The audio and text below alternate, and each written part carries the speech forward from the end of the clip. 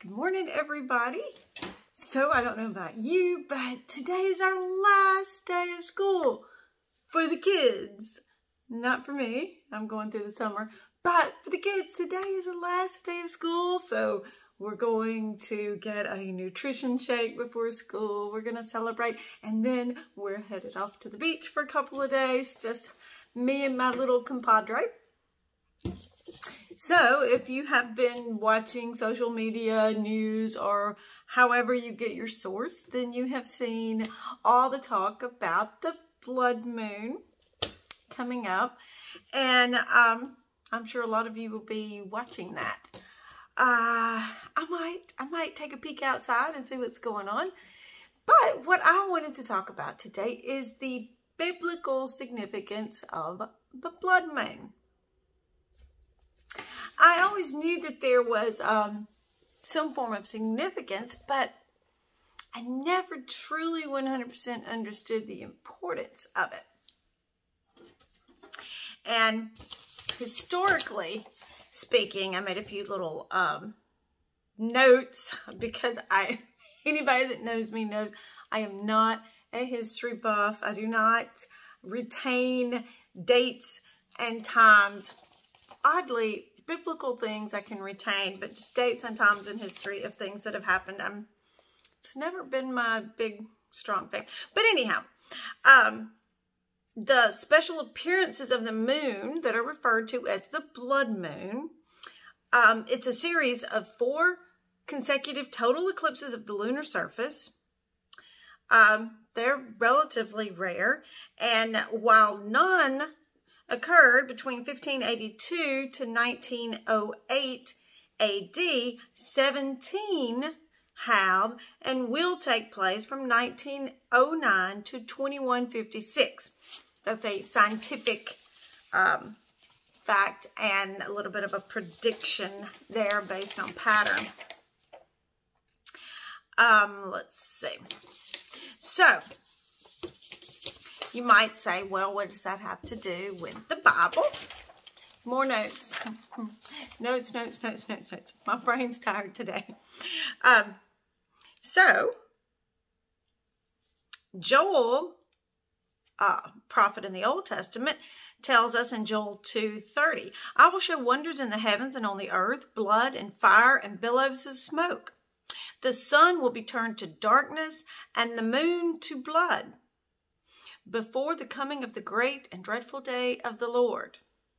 So Joel cites the blood moon as a uh, sign that uh, the coming of the Lord that this is this is happening before the coming of the Lord. Then again, Peter uh, tells us in Acts 2.20, the sun will be turned to darkness and the moon to blood become, before the coming of the great and glorious day of the Lord, and everyone who calls on the name of the Lord will be saved.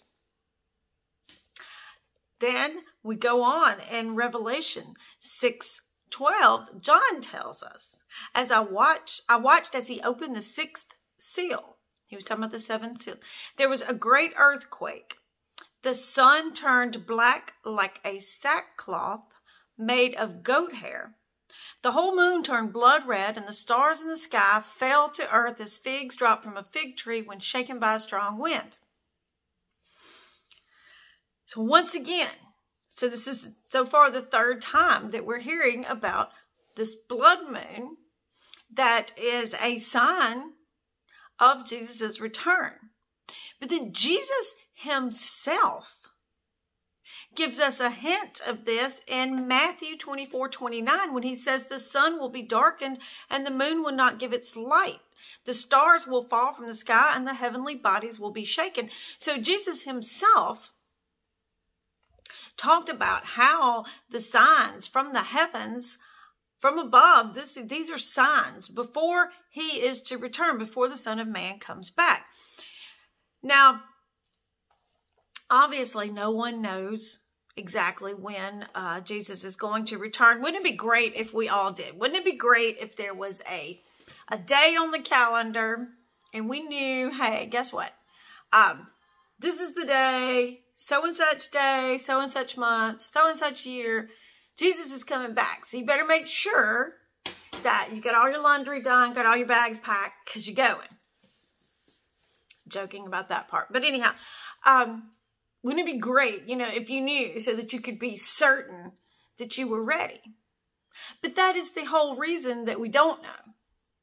Because God doesn't want us to, uh, it's human nature to procrastinate. I think every person alive has some form of procrastination in their personality.